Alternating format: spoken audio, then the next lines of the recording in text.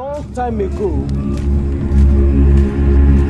in our dear community,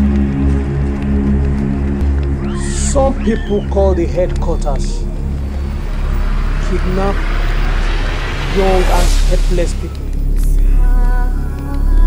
most especially young children of your age.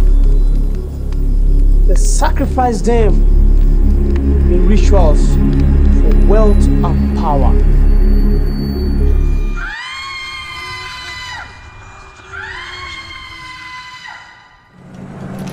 Tiger, check this out. Stop the car, stop the car. Let him out. Let him out.